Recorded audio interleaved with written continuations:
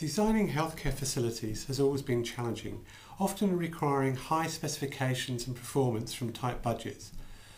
But the demands on today's architects are even greater, with a growing expectation of a better experience for the patients and their visitors.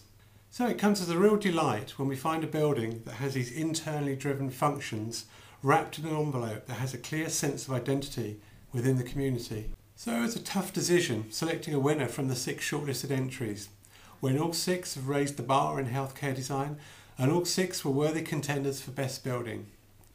However, it was the Moorfield Children's Eye Hospital in London by Penoyre and Prasad that finally won the day.